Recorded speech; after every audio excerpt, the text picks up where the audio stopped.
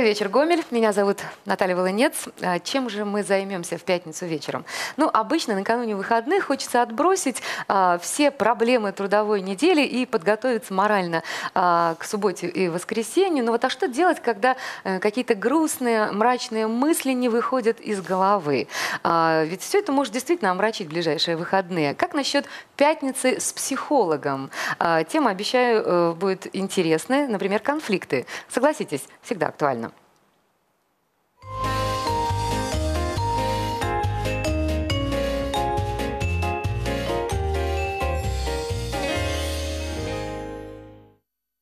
Сегодня у нас в гостях э, психолог, э, руководитель благотворительного проекта «Психологическая школа Пилигрим» Людмила Тутынина. Добрый вечер, Добрый Люда. вечер, Наталья. А, и медиатор Наталья Тарасова. Э, добрый вечер, Наталья. Мне Добрый кажется, вечер. Мне кажется, такой компании мы сейчас расставим все точки над «и» в теме конфликты. Почему они, в принципе, появляются в нашей жизни и как их решать. Ну, согласитесь, или, ну, скажем так, вы согласны, что тема конфликтов сегодня очень актуальна и для наших семей, и для наших трудовых коллективов, для нашего общества очень актуальна как никогда? Эта тема актуальна особенно для горожан, для людей, которые проживают где-то очень тесно на небольшом клочке земли. Вот я считаю так, что там, где три человека собираются, между ними Больше трех, быть, да? Да, больше трех уже должен быть или психолог, или вот как медиатор. Наталья, что, что вы добавите? Ну, я считаю, что конфликт э, – это неизбежность, и э, как медиатор понимаю, э, что в некоторых случаях это на пользу. Вопрос только в градусе этого конфликта и каким образом он будет разрешен. А, Для этого, собственно, вот э, медиаторы и работают, чтобы помогать разрешать конфликты цивилизованным путем. Ну вот смотрите, э, ваша практика, ваши личные наблюдения, что показывают, как меняются сегодня, э, скажем, конфликты, их причины и пути их решения вот в последнее время, если взять Людмила? А, Ну, скажем так, общество развивается. Да? Я уже сегодня говорила о таком явлении, как урбанизация. Да? То есть большая часть людей в Беларуси где проживает? Но я так предполагаю, что, наверное, в городах. Плотность населения становится больше. Общество э, состоит не из однородных да, людей, да, а это мультикультурность представлена. Много разных людей с, разных, э, с разной векторностью, с разной направленностью. В конце концов, разной национальностью, разное Привычки. Вероисповедание, разные привычки. И вот это вот многообразие, да, порождает иногда некие противоречия, противоречия. Заметьте, я не говорю о таком противоречии, как богатые и бедные, хотя это тоже имеет место. Вот. Э, Ну вот смотрите, в любом случае, раньше э, э, различные споры зачастую решались очень просто. Крикнул, топнул, шлепнул, да. Сегодня у нас появляются целые институты, институт психологии, институт медиации. Э, Можно ли говорить о том, что вот такие вот посреднические э, как бы формы это что-то такое новое явление э, в нашем обществе сегодня? и Оно так, ну и какой оно имеет плюсы, минусы, на ваш взгляд? Вот. Ну, вообще, допустим, медиаторы глубоко изучают эту проблему, откуда пошла медиация все-таки. У нас принято говорить, что это когда-то в се- в 70-е годы э, преподаватели и ученые Гарвардского университета разработали этот подход. На самом деле э, считается, что еще в Древней Руси э, существовали вот эти э, зачатки медиации, что ли, э, которые сейчас просто на вооружение медиаторы берут, изучают историю и перенимают. Как, например, вот сельский сход, когда был старейшина, который разрешал споры. И тогда вариантов не было у людей, потому что они жили в общине, и, некуда деваться было. Им этот спор нужно было решить. И силовым методом э, решить э, зачастую невозможно, потому что насилие порождает ответное насилие и так далее. И надо было как-то остановить. И вот э, разре- э, даже некоторые методики обучения медиации предполагают вот разыгрывание вот этого сельского схода, Даже так? старейшина, да, и разрешение какого-то вопроса, который возник. Поэтому тут сложно говорить. Но, но- но действительно у, у нас, наверное, эм, э, общество, э, наверное, в той или иной форме вот, э, постоянно использовало вот какие-то э, там такие способы э, не силовые, да, наверное. посреднические разрешения конфликтов. Просто э, сейчас это оформилось в такую вот э, технологию медиации. Ну, вот четко назвали медиацией и э, существует такая четкая медиа... э, технология, которая закреплена законом. Ну, я бы хотела все-таки вот еще продлить эту тему, скажем, эволюция конфликта. Ну, простите, уважаемые телезрители, за такие сложные, может быть, термины, но на самом деле без этого никуда. Да? Вот мы уже начали говорить о том, что вот урбанизация, сегодня вот э, сам конфликт, причины и э, возможности их решить а, каким-то образом эволюционируют сегодня. Но споры как и конфликты, они встречаются очень э, часто, ну, скажем так, постоянно в нашей жизни, это и в общественном транспорте, да, мы можем ехать и, и поконфликтовать, да, а мы придем домой, или точнее по работе у нас могут какие-то быть разногласия э, с начальством, с коллегами, да, а потом мы приходим домой, и в этом настроении, э, ну уж извините, начинается семейный конфликт, да, потому что мы где-то уже не, не могли сдержаться. И все-таки вот природа конфликта, почему мы конфликтуем? Почему мы не сдерживаемся? Что нас, что нас заставляет обязательно выяснять эти отношения? Но э, очень часто мы используем как конфликт как способ самоутвердиться, что не есть хорошо. Так. Другому человеку это не нравится, и он начинает защищаться. Но э, вот мне очень понравилось то, что говорила Наташа, да, о, о, о том, что раньше мы конфликты разрешали общинно, да, то есть э, ведь, э, например, в поселке или в деревне, да, люди все друг друга знают, угу. там особо не разгуляешься в конфликте, да. Вот почему я стала говорить о том, что э, мы, э, живя в городе, да, в городе, где есть три человека, должен быть посредник, чтобы налаживать э, вот эти взаимоотношения, да. И вот на сегодняшний день, да, с чем мы сталкиваемся, то есть какая глубинная причина конфликтов? Да в том, что мы имеем разную базовую, как бы, разные воспитать, воспитание разное, да, разную, разные точки зрения, да, и нам нужно, нам нужно воспитывать в себе некую толерантность, да, некое восприятие другой точки зрения. А для То есть мы не приемлем обычно мы не приемлем точку другую точку зрения. И это есть очень, э, ну, скажем так, тревожный момент. Например, для нашей э, страны, которая вот сейчас переживает, именно неприятие, градус неприятия растет с каждым днем. Наталья, вот что вас может вывести из себя очень быстро, когда вы общаетесь с другим человеком? Ой, это, это зависит от состояния душевного. А, то есть еще и ваше состояние тоже, конечно, тоже может конечно, стать причиной, да, по большому да, счету? Да. Э, мне, мне кажется, это присуще любому человеку. Вопрос в том, когда, на каком моменте я пойму, что меня побудило вот так вот выйти из себя и, и, и что меня, ну и, и что я сделаю для того, чтобы вот эту ситуацию как-то исправить. Ну это очень смешно. Как можно в момент э, этого назревания какой-то ссоры задуматься о том, что ты в чем-то не прав? Кажется, что ты обязательно, обязательно глаголишь истину. Я к чему веду? Вот Наташа, спор, да. Есть вот немножко угу. перебила, да. А, вот есть такая тоже расхожая фраза, тоже гуляет по интернету. Выкладывают, например, такой вопрос вопрос. Ты хочешь быть счастливым или хочешь э, быть э, правым? Да? То есть разговор о чем? О том, что вот когда мы вот останавливаемся или наоборот мы продолжаем так. конфликт, нужно помнить, чего я хочу в самом конце. Да? Потому что если, например, я спорю со своими близкими людьми, да, тебе завтра с ними жить. Если ты будешь победителем, да, вот в этом споре, то что завтра будет? Подожди, а что значит, чего я хочу э, в результате спора? Я хочу, чтобы приняли мою точку зрения, обычно так. То есть я хочу, ну, чтобы я был победителем, я все-таки да. достиг своей цели, но... Невед, неведомо какими путями, Неведомо какими путями, да, но рядом с тобой живет человек, и ты его, извините меня, притоптал, мягко сказать. Ты его где-то, может быть, даже унизил. Мало того, ты а, уже априори предполагаешь, что у него не может быть э, правильной точки зрения но по какому-то вопросу жить. Например, мама своему э, Так, давай пример какой-то, да. Ну, мама, например, угу. своему сыну-подростку говорит, да ты такой секой, там ты такой. Ну, ребенок пришел домой поздно, но нужно помнить, он все равно со твоего сына. И тебе ты утром завтра проснешься, он все равно будет ходить по квартире. Это твой ребенок, не переходи эту грань. То есть находи э, своему негодованию, негодованию, своей агрессии приемлемые формы. Кстати, по поводу приемлемой формы могу сказать. Есть такая одна методика, называется коммуникативный пирожок. Так. Пирожок.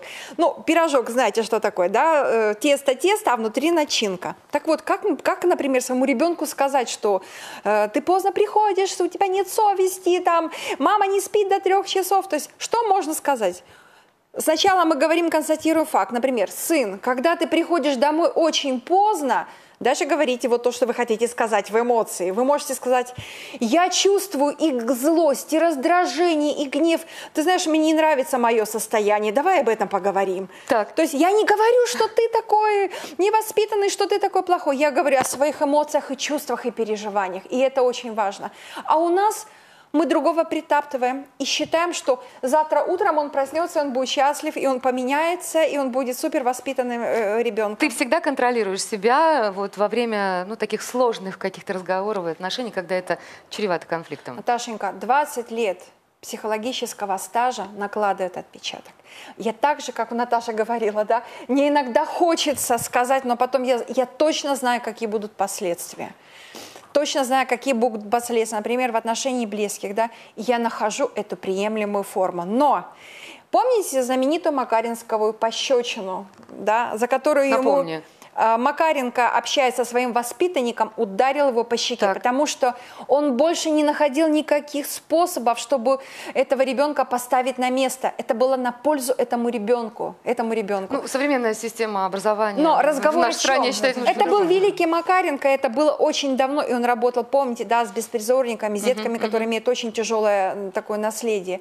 Но разговор идет о чем? О том, что, конечно, вот эти способы, там, хлопнуть, топнуть, да, там, помахать рукой, они остаются, к сожалению, они действенны, да, потому что есть тот, кто не понимает, да, э, твоей интеллигентности, твоего интеллигентного посыла, что прекратите, например, но этот человек может среагировать на что? На какое-то хамство в ответ, и он прекращает да, э, свое Слушай, нападение. Ну, вот когда назревает конфликтная ситуация, как вести себя правильно? Вот я, например, не знаю, пробую разные варианты, но с разными людьми, мне кажется, по-разному э, э все получается. Это ж хочешь Иногда сдержать себя очень хочешь сложно. расскажу одну притчу? Ну вот притчу. Да, хорошо, притчу. да, притчу.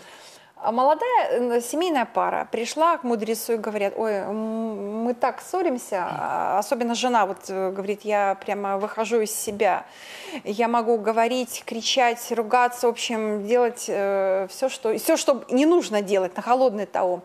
Мудрец и говорит, я дам тебе сейчас э, розовый камень, да, этот камень предотвращает э, все конфликты то ли вот как только начнется сейчас кон, э, конфликт, да, ну завтра, может быть, послезавтра, ты его положи так. под язык и молчи. Хорошо, камень будет работать. Он не даст тебе возможность. Камень ругаться. будет работать. Камень будет работать.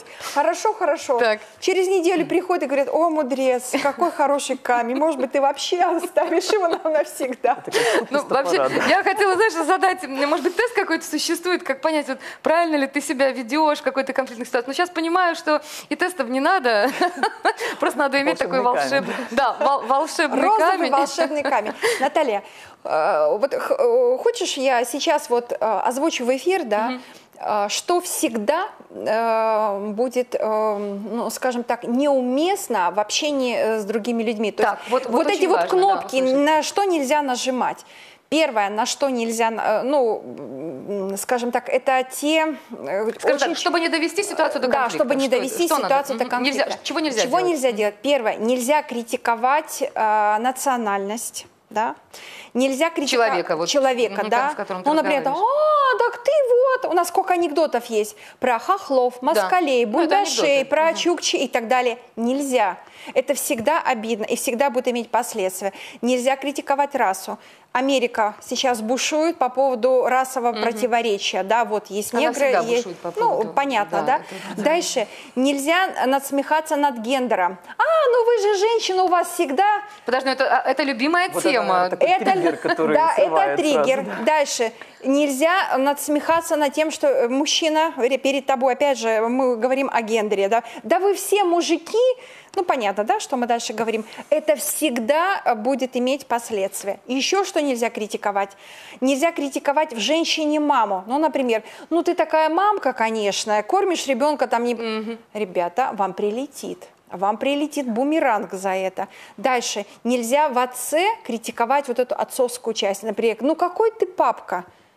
Это тоже прилетит. Так я хочу спросить, о чем тогда можно говорить, в принципе? Это же любимые темы, которые мы обсуждаем чуть ли не Наташенька, каждый день друг вот другом. смотрите, я вам приведу пример. Так. Э, этот пример, он из жизни, да. Э, наше предприятие, предпри... ну, одно из предприятий, угу. да, а, отдел. И женщины между собой делятся впечатлениями по поводу вчерашнего дня. И одна женщина рассказывает про своего сына, да. Да он такой у меня болтус, уже пиво стал пить, э, покуривать стал, я не знаю, что с ним делать, он вошел в подростковый возраст. Ну, женщины покивали головой, как бы, ну да-да-да. На следующий день одна из сотрудниц приходит и говорит, слушай, я вчера слушала тебя и не верила, что у тебя с, вот, с сыном такие проблемы, а я сегодня видела твоего оболтуса, сидит на лавочке, действительно пьет пиво и курит. Как же вот такое так. произошло? Все, между ними конфликт. Одно Прич... дело, да, когда ты говоришь Одно об этом дело, сам. когда ты как бы головой киваешь, да-да-да, я слышу тебя, я, я услышала тебя, но когда ты говоришь, твой ребенок плохой, ты плохая мамка – Ребят, этот конфликт невозможно потушить. Спасибо, Людмила. Mm-hmm. Вообще бесконфликтное общение напрямую связано с искусством красноречия. И чтобы избежать конфликта, нужно придерживаться основных принципов ораторского искусства. Так считает руководитель ораторского клуба Татьяна Остапенко. Татьяна сейчас у нас на связи. Вот и давайте попробуем с ней разобраться, как же правильно вести разговор. Татьяна, добрый вечер. Здравствуйте. Наталья. А, рада слышать вас э, в эфире. Скажите, пожалуйста, как же во время разговора не довести ситуацию до конфликта? Вот дайте нам, пожалуйста, конкретные рекомендации. Ну вот я подготовила для вас небольшой такой чек-лист – на мой взгляд, который может пригодиться. Значит, первое правило любого диалога – уважай собеседника.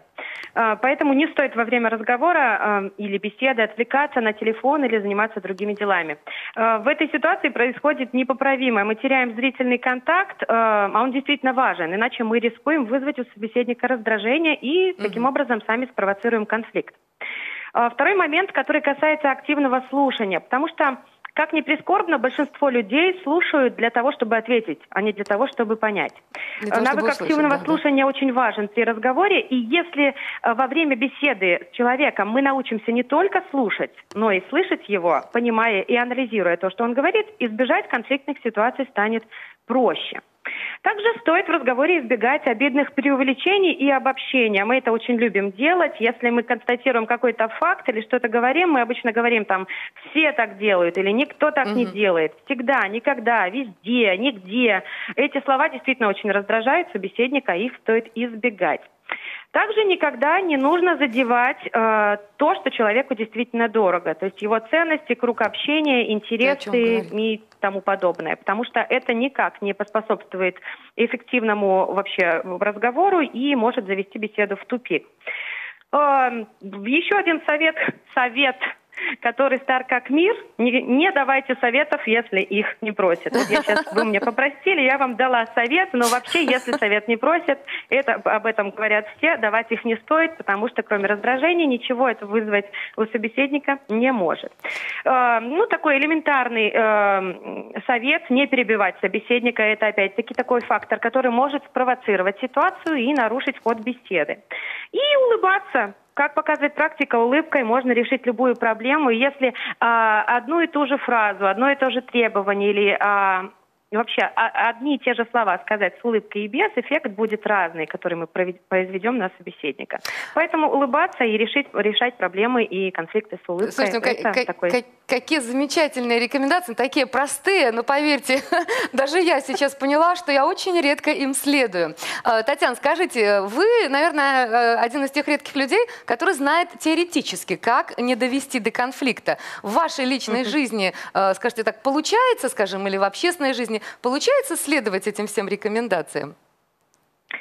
Я стараюсь. Вот это, наверное, самый верный будет ответ. Я стараюсь. Угу. Иногда не получается, но я четко понимаю, как в этот, что в этот момент сделала неправильно я. То есть вот этот вот момент оценки, когда ты думаешь, вот собеседник сделал так, или сказал вот так. Я понимаю, что он сделал так, но я могла бы среагировать по-другому. Вот поэтому э, здесь я понимаю свои слабые стороны и стараюсь над ними работать, подтягивать их. Э, например, из тех советов, что я вам э, дала по предыдущему вопросу, наверное, самой большой проблемой для меня, учитывая, что я болтушка и очень mm-hmm. люблю разговаривать, э, является всегда вставлять свои пять копеек. Вот э, когда человек говорит, я действительно действительно очень часто уже думаю о том, что я могу по этому вопросу сказать. Вот что бы я ответила. И получается, что некоторые моменты из э, того, что человек говорит в этот момент, я теряю. То есть вот активного слушания мне иногда не хватает, не хватает. но я над этим активно работаю. Ой, слушайте, и я буду активно над этим работать. Вот, вот вы признались, и я признаюсь, мне тоже иногда этого не хватает. Но не могу не спросить. Вот смотрите, ситуация доходит до какого-то предела, накаляется. И вот чувствуем мы, что вот он конфликт назревает. Вот как остановиться, э, как его разрешить? Вот ваши рекомендации. Что делать? Ну, во-первых, нужно дать, обязательно дать своему собеседнику высказаться до конца. Ну, пусть он спустит пар, в конце концов, если уж на то пошло. Не перебивайте его, выслушайте, и только после этого высказывайтесь э, сами. Э, еще один важный момент, э, я называю это «долой эмоции», потому что суть и причина любого конфликта – это всего лишь противоречие интересов. Угу. Ну вот когда люди хотят чего-то разного и не совпадают. А, есть одна такая древняя истина, для хлопка нужны две ладони. Поэтому если в разговоре одна сторона пытается спровоцировать конфликт, а вторая ведет себя корректно, то скандала не получится. Поэтому это такой вот важный момент, о котором вот. нужно помнить. И даже если вы на 100% не согласны с собеседником, очень важно показать интерес к тому, что он говорит. Не делать вот, знаете, такой покер-фейс, когда угу. ты сидишь а. и уже всем своим видом показываешь, что ну ты не прав, человек, ты не прав. Вот. А постараться проявить интерес к тому, что он говорит, и постараться для себя разобраться в его эмоциях и в его логике. Это действительно помогает, это работает. А, ну и, конечно, компромисс никто не отменял, поэтому очень важно предложить своему оппоненту, собеседнику вместе найти пути решения конфликтной ситуации. Как показывает жизнь, ну нет, нет безвыходных ситуаций, и всегда можно найти какое-то альтернативное решение, которое более-менее устроит обоих. Также, конечно, не стоит говорить прямо в лицо собеседнику, что он не прав. Люди очень этого не любят, поэтому мы стараемся это избегать. Особенно этим грешат мужчины. То есть угу. в разговоре с мужчинами никогда, это нужно запомнить, никогда не нужно говорить ему в лоб, что он не прав. Ну, это прям вот вообще такой табу. Но особенно женщинам. Потому что женщины, они, как правило, более, так сказать, что ли, хорошие дипломаты. Наверное, да, да, хорошие дипломаты. А, ну вот и еще такой важный момент, это будет последний, наверное, такой мой совет. Нельзя допускать перехода на личности и оскорблений. Угу. Даже если ваш собеседник проявляет яркое неуважение к вам, до тех пор, пока вы сами ведете себя корректно и уважительно по отношению к нему, есть неплохие шансы на то, что ваш конфликт удастся эффективно решить. А, ну и еще важно помнить, что если ваш собеседник приходит на личности и начинает вас оскорблять, это означает одну простую истину. У него просто закончились аргументы. Поэтому в этом конфликте у вас перевес. Продолжайте очень корректно, вежливо дожимать, так сказать, собеседника, и все получится. Слушайте, ну как же все просто на самом деле. Казалось бы, просто надо знать, э, владеть подобной информацией. Ну, я так понимаю, ораторский клуб, ораторские курсы, которые э, вы ведете, в принципе, могут научить этому. Кстати, ближайшее ваше, скажем так, заседание ораторского клуба на какую тему, когда и где, и как можно присоединиться? Ну, наши встречи проходят ежемесячно, в каждое первое воскресенье месяца в 6 часов. А, и каждый раз мы за две недели объявляем тему. Вот ближайшая встреча у нас пройдет 6 сентября в 18.00. И говорить мы будем на очень интересную тему. Называется она «Культ тела». Так. В прошлый раз мы говорили о питании, мы то, что мы едим. А в этот раз мы поговорим о том, как мы относимся к к своей внешности, к своему телу. Здесь мы будем затрагивать такие м, сложные моменты, как бодипозитив, дисморфофобия, фитнес-зависимость и все прочее. У нас будут о, очень крутые эксперты, выступления ораторов. Ну и, естественно, ситуации, когда нужно будет отвечать на неудобные вопросы, mm-hmm. сглаживать конфликтные ситуации э, между беседующими людьми. Поэтому вот мы на ораторском клубе и на курсах, вся наша работа направлена на то, чтобы на практике отработать ту теорию, которую мы м, получаем. То есть как бы понимать, понимать понимаю, применять не умею. А вот здесь да. мы учимся это все применять. Татьяна, спасибо вам огромное. Татьяна Остапенко, руководитель ораторского клуба в нашем городе, который существует, вот только что поделилась, на мой взгляд, бесценными советами, как действительно не довести ситуацию до конфликта. Итак, дорогие друзья, на Беларусь-4 э, у нас э, сегодня не просто добрый вечер, Гомель, у нас сегодня, скажем так, пятница с психологами, да. Сегодня мы учимся не конфликтовать. А у нас в гостях психолог Людмила Тутынина и медиатор э, Наталья Тарасова.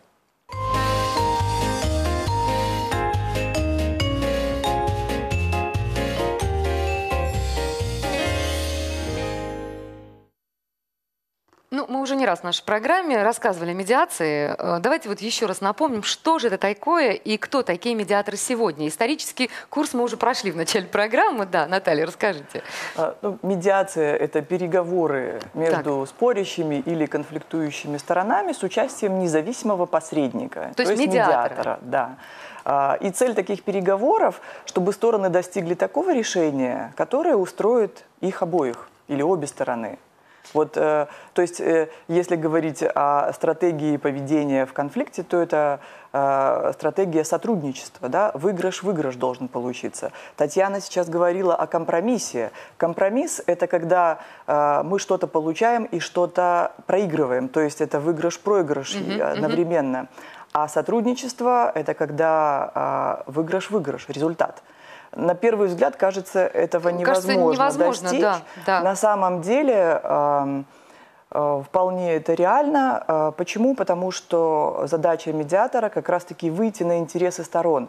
Ведь конфликт это э, Э, противодействие по поводу интересов не только э, существующих, но и предполагаемых. То есть стороны предполагают, что у них есть такой-то интерес, а на самом деле речь идет о их позициях. А интересы где-то в глубине, они могут совершенно не соответствовать позиции заявляемой. Например, если говорить о споре судебном, то позиция стороны, вот э, то, что человек написал в исковом заявлении, там, прошу взыскать такую-то денежную сумму. А что стоит за вот этим требованием? Ним, какой у почему, него интерес. Почему, да, да причина да. какова? В связи с чем такое требование заявленного? Э, это на поверхности э, его не видно. Слушай, ну вам же как медиаторам приходится покопаться очень сильно. Приходится, да. Да. А, вот какие, вот какие ситуации Конечно. чаще всего рассматриваете и, скажем так, и, и почему все-таки, и как, с помощью чего медиатор позволяет не доводить э, ситуацию до суда?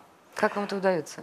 А, ну, а, как раз-таки основная э, вот задача медиатора – помочь сторонам осознать их действительные интересы. И зачастую так получается, что стороны сами понимают, что их интерес не в том, вот что они задекларировали, когда пришли, вот я хочу то-то. А на самом деле интерес совершенно в другом. А, ну, очень такой классический пример, как вот э, показывают специалисты, как наглядно, как работает медиация. Это когда супруги там собираются куда-то поехать, э, у них одна машина на двоих, так. и вот, э, допустим, супруга выскакивает из дому, а за рулем уже супруг сидит. Она говорит, да подожди, ты же мне обещал на сегодня машину, мне нужна там очень, она очень нужна. Он говорит, нет, э, извини, дорогая, я все понимаю, но мне она нужнее сегодня, и все. И вот они спорят. Она говорит, мне нужна машина, а он говорит, мне нужна машина. Вот это их позиции. И кажется, это их интерес. Интерес получить машину. На самом деле, вот вступает медиатор, показывает, да, вот спрашивает, а зачем вам машина? Она говорит, мне нужно добраться там туда-то, на такую-то улицу, э, у меня там встреча деловая. Супруг слышит и говорит, слушай, так я же еду на соседнюю, давай я тебя подвезу. Так.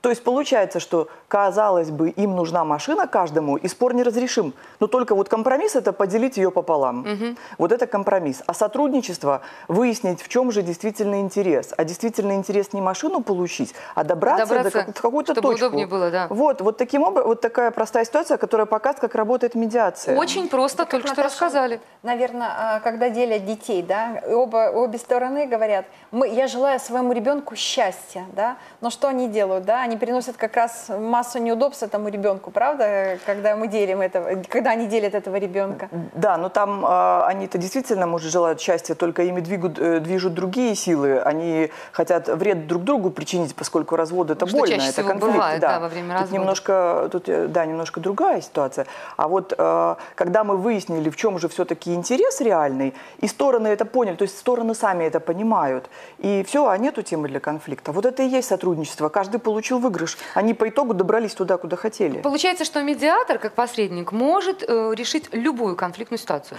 Нет. Э, ну, тут вот э, остановить конфликт любую может? конфликтную ситуацию. Э, безусловно, нет. Медиация не панацея. Так. А, медиация – это тот инструмент, который помогает договориться. Но это добровольная процедура. Стороны должны сами захотеть.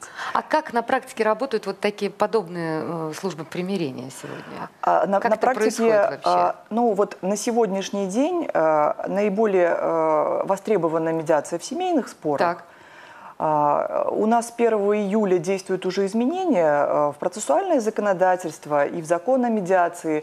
Вот по этим изменениям а, при э, подаче заявления о разводе либо супруги в ЗАГС обращаются, если детей нету и нету имущественных споров, либо в суд, если и то, и другое присутствует, то им э, соответствующее должностное лицо разъясняет, что у них есть возможность воспользоваться информационной встречей у медиа... с медиатором.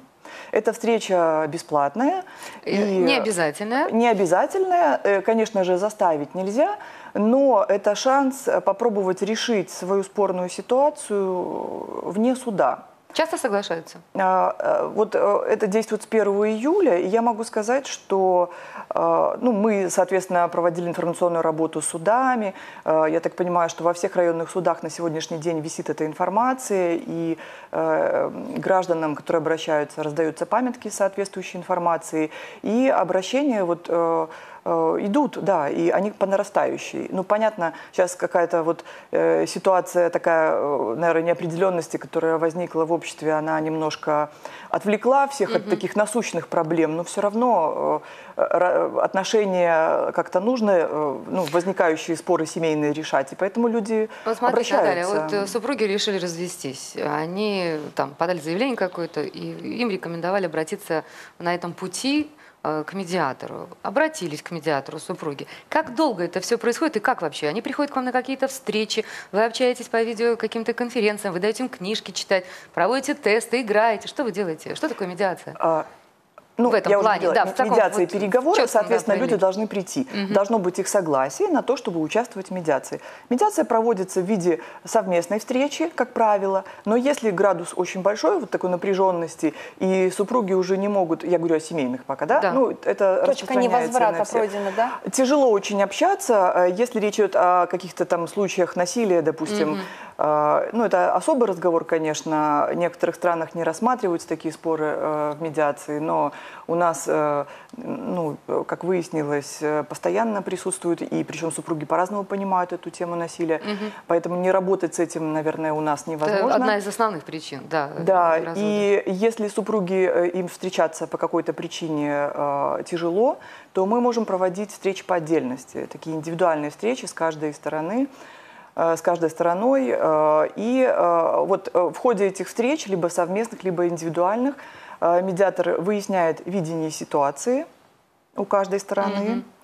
Mm-hmm. И э, вырабатываются вопросы для обсуждения. Ну и стороны работают над этими вопросами с помощью медиатора. Ну, конечно, наиболее распространенная ситуация, когда стороны вместе переговоры ведут. Это быстрее, конечно, проще, когда сразу реакция видна, а так тяжело, когда индивидуально общаешься с каждой из сторон. Ну, если говорить о совместных встречах, то а, как выглядит работа медиатора? Вот сначала медиатор рассказал, что такое медиация, правила установил. Медиатор организует и руководит переговорами. Угу. Принимают решения сами стороны. Это вот сразу отличие от судебного решения. Когда приходит в суд, в суд супруги делить имущество, например, да. понятно, суд поделит пополам, он не будет э, разделя, э, разбираться, кому какой объект, допустим, недвижимости, если об этом спор, да? А, или э, детей. Есть на практике случаи, когда детей либо там с мамой оставили всех, либо поделили между родителями. Вот тоже ситуация, да, судебное решение. Угу. И вот они с этим живут. И, и ведь, порой не согласны. Конечно, и судятся, страшное, да, да, и дети, естественно, не могут на себе, э, не, не чувствуют вот последствия вот этих судебных разбирательств.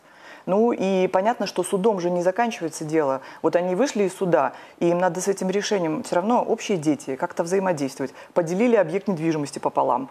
Вот и что? Угу. Ну вот как они а разошлись дальше, разве? Да. Ну дальше все равно же их взаимодействие не прекратилось, а оно взаим... это взаимодействие на конфликте. Вы это все, наверное, рассказываете, да? К, к чему могут привести вот подобные судебные э, решения? Вы, наверное, во время медиации уже рассказываете ну, а, своим клиентам, безусловно, в самом начале, да, в качестве сами. аргумента для медиации, да. и вот когда мы ведем разъяснительную работу, потому что это сторона, как-то люди не, для них это не очевидно, они угу. думают, получили судебное решение и, и все. все, да. Как долго занимается занимает этот процесс примирения подобного? А, и всегда ли вообще примирение происходит у медиа... вот во время такой медиации? Ну, не всегда, конечно же. Много зависит от того, э, с какой целью стороны пришли. Потому что э, вот э, бывает, люди приходят в медиацию, вот у нас сейчас эм, такой спор, допустим, недавно был, эм, мы в комедиации с коллегой были, э, когда один из супругов, э, он просто делит имущество, а другой супруг, э, ну это характерный спор, надо сказать, а другой супруг, у него обида, он не может пережить развод, он еще не, э, не, не, отпустил еще, ситуацию. да. Да, да. И э, вот в такой, в такой ситуации возникает вопрос, он может дальше продолжать договариваться, или его договоренности направлены на то, чтобы причинить вред другой стороне. Если во вред, то тогда мы объясняем, что медиация не про это. Медиация – это когда вот он, э, они хотят договориться, но в силу разности видений э, не могут. И тогда вот медиатор включает свои инструменты, он спрашивает, а что будет, если э, там, вы не договоритесь, да, какой самый худший вариант, какой самый лучший, э, выясняет действительно интересы, вот что на самом деле нужно, да. Вот я хочу понять, а чем медиатор отличается от психолога? А вот я сейчас эту тонкую грань Да. расскажу, безусловно. То есть тут грань очень тонкая, я так понимаю, в любом случае, Конечно же, навыки практической психологии медиаторы, медиаторам преподают, когда они обучаются. Ну, не, они проходят обучение специальное, но, естественно, э, медиатор, у нас нет такого требования, чтобы медиатор был обязательно психологом. А, Различие в том, что медиация нацелена э, на то, чтобы э, разрешить вот эту ситуацию возникшую, конкретно, конкретную ситуацию, по ней конкретное решение Локальная принять. такая Да, задача. да, да. А, в ходе разрешения используются, естественно, вот какие-то психологические инструменты для того, чтобы стороны учились взаимодействовать между собой, а, а, нейтрализуются вот эти негативные высказывания, допустим, в адрес друг друга. А, Медиатор помогает услышать э, друг друга, потому что когда вот э, это же враг сидит, и все, что он делает, это все во вред. А когда я начинаю понимать или э, благодаря медиатору становлюсь на его сторону, я начинаю понимать, что это не во вред, а просто он вот так вот видит ситуацию, когда я начинаю понимать, что это просто другой э, точка зрения, вот это когда мы говорим о терпимости, да, то есть я должна, э, медиатор показывает, что медиатор лицо нейтральное, то есть допуск, принимаю точку зрения вашу, принимаю вашу. Соответственно, а, если вот такое поведение транслируется от медиатора, а, медиатор говорит, ну, я тогда жду и от вас такого же. Раз вы, вы имеете право на свою точку зрения, то и другая сторона имеет право на свою точку зрения. И, э, ну и другие, э, вот та- те Ну же вот самые в техники каких активного случаях, слушания. вот, вот, вот, вот мне интересно мнение каждой из вас, в каких случаях э, вы посоветуете обращаться к психологу, в каких к медиатору, а в каких вообще идти в суд сразу? Ну вот, вот, например, конкретный вопрос. К медиатору пришли стороны делить имущество. А, Вот как я говорила, пример, когда супруг, он еще, вот у него это обида, он не, по- не понимает и не принимает, э, несмотря на то, что сторона другая неоднократно объясняла супругу, почему она это сделала, он, ну, он не может этого принять вообще никак. Соответственно, его вот этот раздел, он направлен на то, чтобы наказать ее. Она предательница, ее надо наказать. А, понятно, какие договоренности здесь возможны вот на условиях сотрудничества? Никаких. И а, если медиатор это видит, то есть э, во- возникает, то есть мы проговариваем эти эмоции, которые, да, вот вы злитесь, да, можно сказать, вот, то есть заст- вот эту эмоцию обозначить. Но приблизительно тоже делает и психолог А, в такой ситуации. Немножко да. в другом ракурсе, я сейчас объясню. Да, да. Вот мы проговорили, человек признал, что да, есть это. Вопрос, мешает это вам договариваться или нет? Если мешает, тогда к психологу. Так. Работать над собой. Работать над собой, да. понятно. Если нет, тогда в медиации мы решаем конкретный вопрос.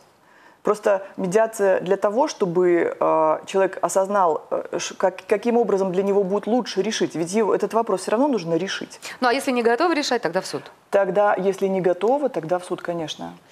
Наташа, вот смотри, по поводу развития общества, мы говорили, как развиваются конфликты, там, э, а сейчас вот обратно, обратную сторону мы увидели, да, то есть мы, да, вот с Натальей, мы э, люди, помогающие профессии, да, и э, общество настолько уже цивилизовано, в частности, наше белорусское общество, да, что даже мы сидим и думаем, куда лучше человеку обратиться, да, чтобы ему облегчить свою жизнь и участь. Представляете, какое сейчас, какого мы достигли огромное развитие. уровня развития, да. Даже мы думаем, куда, или или к медиатору, или к психологу.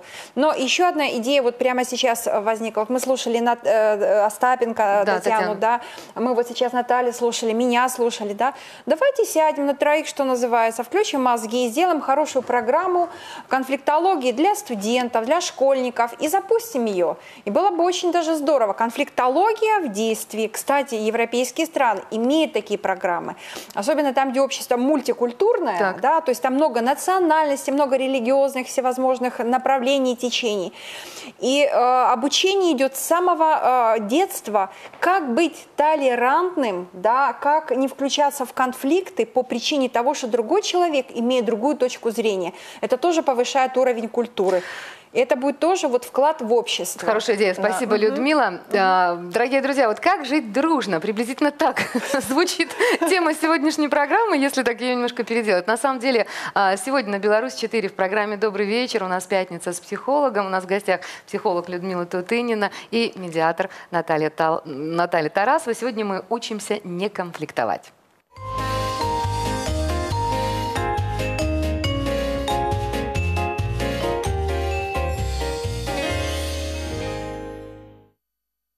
Ну, мы уже определились сегодня, да, вот в ходе нашего разговора, что одна из самых ярких тем, которые приходится сегодня чаще всего решать, помогают решать и психологу, и э, медиатору, это семейная конфликтология, да, скажем так, семейные конфликты. Ну, вот у меня, кстати, есть такая информация, ну, всем известная информация, что во многих странах, в том числе и в Беларуси, более 50% заканчиваются разводом, но вот по мнению социологов, а, семейные конфликты а, по причине завышенных требований к партнеру одна из самых распространенных причин в современном э, обществе. Я имею в виду причины развода в современном обществе. Вот почему?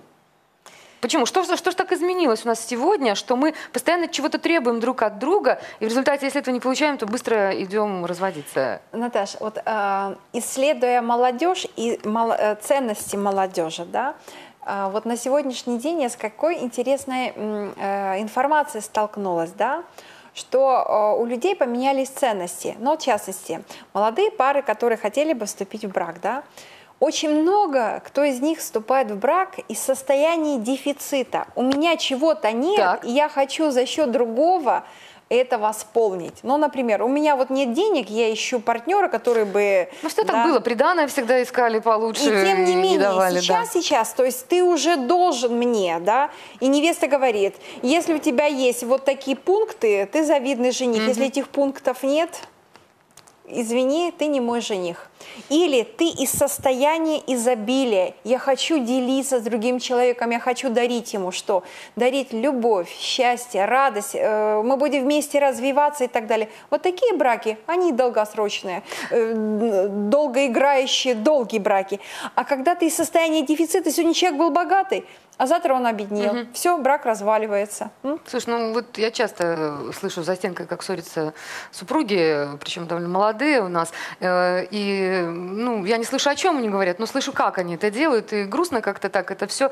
Кто чаще вообще ссорится?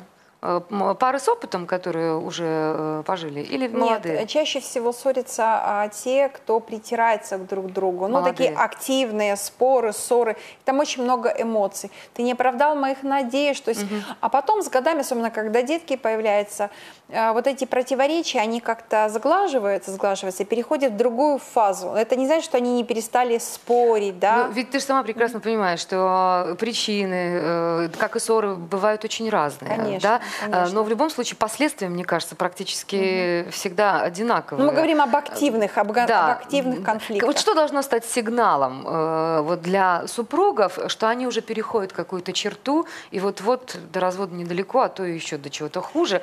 Вот, вот какие это должны быть, я не знаю, слова, которые мы употребляем во время ссоры семейной, действия наши, может быть, хлопнуть дверью, опасно ли это, например. Вот останови, вот останови сейчас какую-нибудь ссору, которая происходит где-то там, вот по ту Наташа, у нас экрана. у психологов да, есть один признак, по которому мы а, ориентируемся, можно ли спасти семейную Так. пару, то есть перешли они вот эту грань или нет.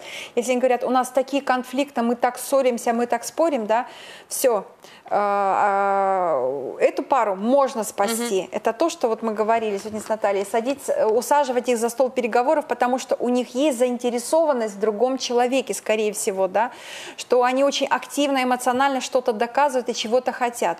Но есть тревожный сигнал, когда я не берусь э, за эту пару, Э, это когда люди э, перестали общаться, что мы уже не конфликтуем, мы молчим. То есть появилось равнодушие. То есть уже нет ни эмоций, ни каких-то сцепок других. Практически они уже расстались, они просто живут под одной крышей. Вот. Когда есть конфликт, это инструмент для коммуникации, но такой неконструктивный, скажем так, элемент коммуникации. Его нужно перевести в конструктивное русло, то есть научиться их общаться и достигать цели каким-то другим способом. Если это не получается, то можно прийти к семейному психологу Однозначно, на консультацию, однозначно. И к да? Или к медиатору можно. например, да, дорогие ответному друзья. вопросу, да, Конечно. Тоже можно. Ну, э, скажите, на ваш взгляд, э, что или, может быть, кто э, способен помочь вот нашим семьям жить дружно? Вот, кроме того, чтобы прийти к психологу, при- кроме того, чтобы прийти э, к медиатору, мамы, бабушки, я не знаю, пропаганда семейных ценностей, что? Все, что ты назвала, Да. это все может помочь э, нашим семьям. Я, например, вот очень хорошо помню мою бабушку, которая всегда говорила моей маме, а моя мама уже мне говорит. Бабушка моя говорила так, Любонька, это моей маме, Любонька, промолчишь, так как в саду просидишь. То есть э, не надо, Да. помолчи. И мама мне точно так же говорит. То есть родовая вот эта поддержка, но, к сожалению, в жизни мы часто встречаемся с чем? Идет э, какой-то конфликт, и подключаются родители. Все. Считайте, что конфликт перешел в другую плоскость, и его потушить Начался, невозможно. второй, да, начался Значит, второй конфликт, который потушить невозможно. Невозможно. Ну а вот юристы считают, что есть еще один прекрасный способ избежать семейных конфликтов – это брачный договор. У нас на связи нотариус Светлана Шиханцова, заместитель председателя Гомельской областной нотариальной палаты. Светлана Николаевна, добрый вечер. Здравствуйте. Мы очень рады вас видеть и слышать. Ра- Расскажите нам, пожалуйста, про брачный договор. Вот в чем э, плюсы подобного соглашения? Ну, конечно, безусловно, плюсы брачного договора, они очевидны. А, Брачный договор, на мой взгляд, в первую очередь повышает ответственность между супругами, повышает ответственность друг перед другом. Если мы говорим о тех супругах, а вот на мой взгляд, в общем-то, а, все договора, которые мы удостоверяем, можно так условно разделить на два таких вида, то есть э, по категории тех супругов, которые к нам приходят. С одной стороны, это супруги, которые вот только заключили брак, и они э, заключают брачный договор, в котором определяют какие-то свои, ну, конечно, в основном имущественные правоотношения, так сказать, на будущее с целью предотвратить, а, минимизировать риск э, каких-то возможных э, конфликтов. Да? То есть они уже это понимают сейчас. Вот. А даже если говорить, а вторая вот категория, Мгм. да, о которой следует говорить супругов, это те, которые, к сожалению, приходят заключать брачный договор перед уже расторжением брака. Но, на мой взгляд, э, в этом нет ничего плохого. А, Супруги договорились, они нашли какой-то компромисс, они решили, э, ну, в первую очередь, опять-таки, э, имущество разделить, либо урегулировать какие-то вопросы в отношении совместных детей. И это тоже хорошо. То есть, э, на мой взгляд, одним из основных таких моментов это вот понимание этой ответственности. А часто ли у нас, вот в нашем регионе, сегодня супруги приходят заключать подобную сделку, заключить брачный договор?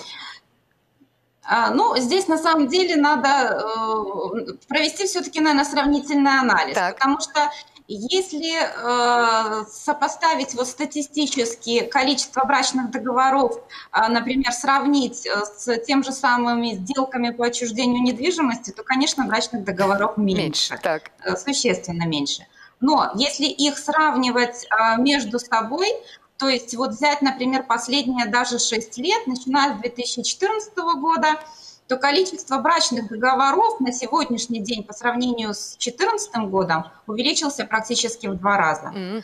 Да, то есть я уже не говорю, начиная с 99 -го года, когда, в принципе, этот институт был введен, когда ну, их единицы были. А что можно? Конечно, чего... этот а, интерес к этим, к этим сделкам растет, их становится больше. Что можно и чего нельзя вот указать в подобном соглашении? Потому что вот мы даже э, накануне программы стали спорить с коллегами, э, да, можно ли там э, домашних животных, их содержание каким-то образом описать, или это только имущественные сделки? Э, что можно, что нельзя? А, ну, в отношении того, что может быть указано э, в брачном договоре, наше законодательство этот момент регулирует. Конечно, в первую очередь это имущественные вопросы, как в отношении того имущества, которое уже имеется у супругов, либо в отношении того, которое они приобретут в будущем. Это порядок раздела имущества на случай расторжения брака, это могут быть вопросы э, воспитания детей, взаимоотношения родителей mm-hmm. с детьми. А, это могут быть какие-то иные э, моменты. Э, главное, чтобы эти вопросы, вот моменты все, да, не противоречили законодательству. То есть такого перечня, списка вопросов, которые не могут быть включены в брачный договор, четкого вот э, регламентации такой нет. То есть оценивая вопрос и консультируя граждан, mm-hmm. можно, например, вот такой момент включить или нельзя, мы исходим из того, что это в первую очередь не противоречит э, требованиям законодательства и не нарушает э, права и интересы третьих лиц. А, Сланка, ну вот в вашей практике, ну скажем так, самый необычный брачный договор или, может быть, какой-то пункт самый необычный, может быть, нелогичный для всех нас, вот вспомните что-нибудь. Вы знаете что, честно говоря, чего-то такого интересного, такого необычного, как, э, ну не знаю, что привести пример, как, например, там, э, супруги договорились о том, кто из них будет утром, а кто вечером выгуливать своего питомца. Да, такого нет, э, не, такого у нас не встречается. Не бывает. Хорошо. На самом деле все достаточно практично, угу. прагматично. Как правило, это э, вопросы имущественного характера, но иногда вопросы воспитания детей. А, и в двух словах, пожалуйста, как оформить подобную сделку жителям нашего региона? Как заключить да, ну, брачный договор? Брачный, оформить брачный договор, значит, это нотариально удостоверяемый договор. Его можно удостоверить у любого нотариуса в Республике Беларусь. Следует предъявить паспорта, э, документы, подтверждающие регистрацию брака. Mm-hmm. Это если договор заключается с супругами. А также договор может быть заключен и лицами, вступающими в брак. Э, в этом случае он начнет, э, вступит в силу с момента регистрации заключения брака. А если стороны хотят э, решить имущественные вопросы в отношении недвижимости, например, которая уже приобретена, э, предоставляются документы на это э, имущество. Ну, какие конкретно, конечно, нотариус все подскажет, разъяснит, как их можно истребовать и получить. А вступает в силу брачный договор с момента его заключения а, нотариального удостоверения. Если же мы говорим о недвижимости, то с момента государственной регистрации в агентстве по регистрации недвижимого имущества. Спасибо большое, Сланка. А, ну, благодарим следует... вас. Благодарим вас за эту информацию. Спасибо. Всегда рада вас видеть и слышать. А, нотариус э, Светлана Шиханцова, заместитель председателя Гомельской областной нотариальной палаты, только что проконсультировала нас э, насчет брачного договора. А что вот скажет об этом медиатор, психолог? Действительно ли такое вот, э, соглашение поможет укрепить брачные отношения? Как вы думаете? Саша, в свое время я была руководителем психологического центра, да, и у нас была такая услуга а, брачный психологический контракт, так. где э, пары э, уже, которые уже пожившие, да, приходили к нам на консультацию, мы говорили, а давайте попробуем составить этот контракт. Это было очень интересное действие. Например, туда вносились такие положения, как где мы отдыхаем по субботам, воскресеньям, разрешаем ли мы теще или свекрови приезжать к нам в гости без звонка. То есть там было очень много пунктов. И предусмотреть э, заранее, да, в принципе, наверное, все невозможно, но такой пункт, кто выносит мусорное ведро, Я думаю, что можно. Кто ходит в магазин? Можно. Как воспитываем детей? Можно. Как мы относимся к измене? Можно. Чем мы питаемся? Мясом или вегетарианской пищей? Можно. То есть то, что является на самом деле Причиной, причиной конфликта конфликтов. очень часто. Наталья, что вы скажете? Брачный договор и медиация. Вот то, что говорит Людмила, это все можно в медиативное соглашение записать. Оно не будет носить правового характера, потому что у нас э, есть ряд медиативных соглашений, которые можно принудительно исполнить как решение суда. Но э, если мы говорим о вот таких соглашениях, то оно может исполняться только добровольно. Естественно, каких-то правовых механизмов понуждения к исполнению нету, но я заметила даже вот по тем правилам, которые в медиации стороны договариваются э, соблюдать, э, они им следуют, если они сами договорились. Это очень Да-да-да. действенно. Мы даже прописываем, вот у нас ситуация, когда супруги не могут разговаривать, нарушена коммуникация, и мы тогда начинаем с того, чтобы как-то восстановить ее, но невозможно же разговаривать, да, и прописываем правила, каким хотят они следовать, каждый из них. И вот это очень действует, когда они забывают, распечатываешь и вот так вот на стол. И сразу Если действует ситуация. медиативное соглашение, почему не будет действовать брачный договор? А, кстати, еще одна тема очень важная. Это трудовые споры. Медиаторы имеют к этому какое отношение? Приходилось? В вашей практике были такие истории? А, а, Попытки были, я скажу так, но трудовой спор, он... эм, у него особенность, э, что это отношение все-таки власти и подчинения, э, как правило, горизонтальных споров между работниками. Это же не трудовой. Трудовой – это когда наниматель и работник. Так вот, в этом случае э, это нужно, чтобы был такой прогрессивный наниматель, который готов разговаривать с работником. На данный момент вы Как пока с правило, этим не сталкивались. Я знаю, что такие случаи есть, но они не очень частые. Ну, Но а, медиаторы готовы к- да, к, безусловно. решению трудовых Да, споров. возможно Ну что ж, а пока, конечно. дорогие друзья, под- подобными спорами занимается наш профсоюз. Э, Как помогает сегодня профсоюз решать трудовые споры, расскажет Екатерина Филипцова. Она у нас на связи. Это юрист, главный правовой инспектор труда Гомельского областного объединения профсоюзов. Екатерина, добрый вечер. Добрый вечер, Наталья. А, Добрый расскажите. вечер, уважаемые телезрители. Мы рады вас слышать. Расскажите, пожалуйста, с какими вопросами наши граждане могут обращаться сегодня вот а, в такие профсоюзные комиссии по трудовым спорам? Ну, прежде всего, э, граждане могут к нам обращаться по трудовым спорам. То есть это непосредственно те вопросы, которые у работников, у нанимателей возникают в процессе их трудовой деятельности. Но вместе с тем мы оказываем помощь и э, гражданам в разъяснении гражданского законодательства, жилищного законодательства. Э, Скажите, вот когда появляются какие-то проблемы в трудовых отношениях, вот как конкретно профсоюз помогает э, решать такие спорные вопросы? В чем заключается эта помощь? Э, Прежде всего, мы начинаем с консультативной помощи. То есть изначально важно понять, выслушать обе стороны, Мгм. потому как э, у нас есть сторона э, работника и сторона нанимателя. И, безусловно, нужно выслушать позицию одной и второй стороны и начинаем с консультации. В дальнейшем разъясняем нормы законодательства. При необходимости, конечно, и оказываем так называемую правовую помощь под ключ, Мгм. э, когда работнику помимо консультации составляются документы э, и до представления его интересов в суде, если не удалось э, разрешить ситуацию в досудебном порядке. Часто удается помочь?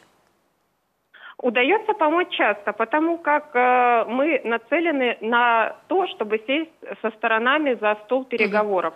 Зачастую стороны где-то себя, э, где-то друг друга недопоняли, где-то не дочитали норму законодательства. Удается убедить как нанимателя где-то пересмотреть свое решение.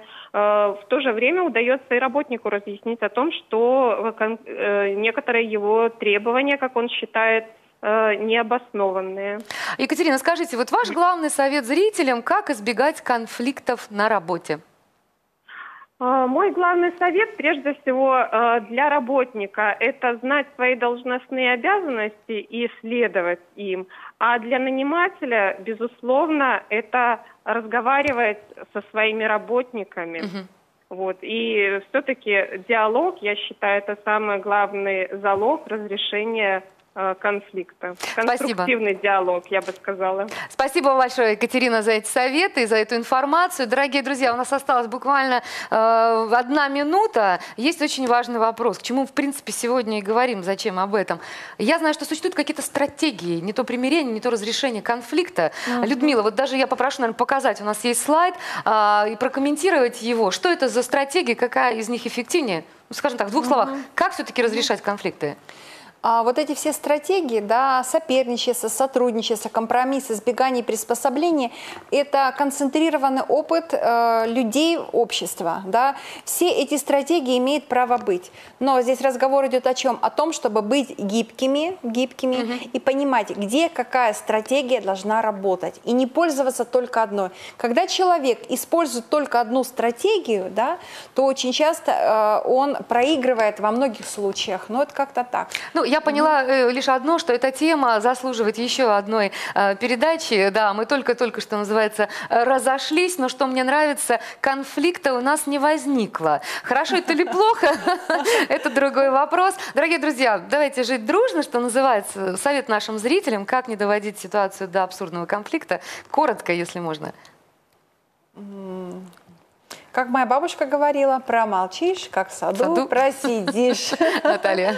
Не забывайте, что если э, я имею право на свою точку зрения, то и другой человек, человек точно так же имеет право на свою точку зрения. Спасибо. А, ну, надеюсь, советы нашей программы, дорогие друзья, помогут вам где-то разобраться в себе. А, ну, в любом случае, мне кажется, пятница с психологом, а сегодня их у нас э, было два, э, должны э, действительно нам помочь и сделать эти выходные какими-то такими спокойными, уравновешенными, настоящими. Это был еще один «Добрый вечер, Гомель» с Натальей Волынец. И до новых встреч в эфире.